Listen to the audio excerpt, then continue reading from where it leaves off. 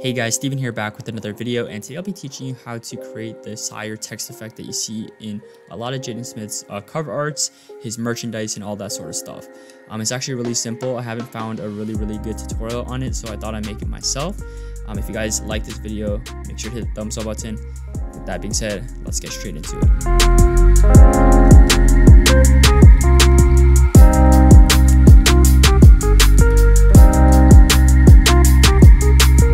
So we're in Photoshop right here. The first thing you're gonna do is type in your text. So I'm gonna just type in SYRE. I'm gonna make it bigger.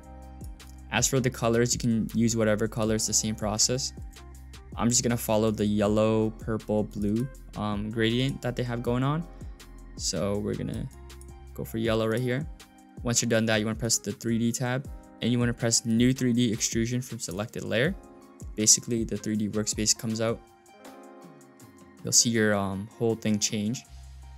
And all you want to do um, at the beginning is just move your mouse down, like click and move down so that you can sort of see the top, um, just so it follows the original cover art. Next thing you want to do is go to extrusion depth and increase it.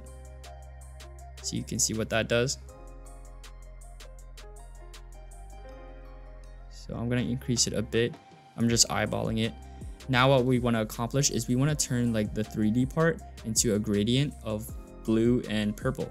So how we do this is we want to press on scene right here. We want to press on surface and for style you want to select unlit texture.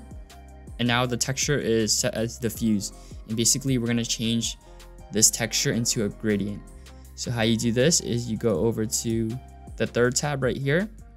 You press on SYRE extrusion material or whatever your text is and you want to change the diffuse material.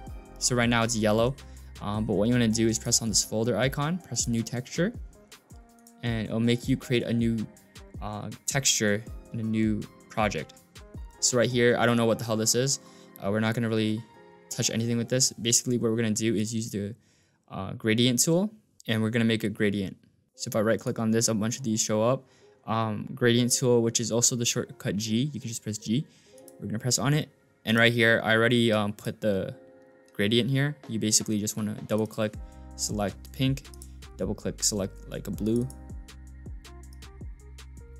something like that.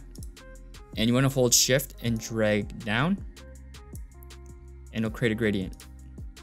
And there you see it loads a little bit and that's about it. The great thing about this is you can increase the depth even after you add the new texture so you can mess around with the settings later on.